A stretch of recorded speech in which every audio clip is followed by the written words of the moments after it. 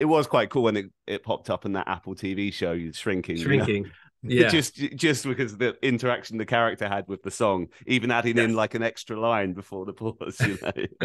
Have a good day. This is the story of a girl who cried a river and drowned the world. And why she looks so sad in photographs. I absolutely love her. When she motherfucking when what? she smiles.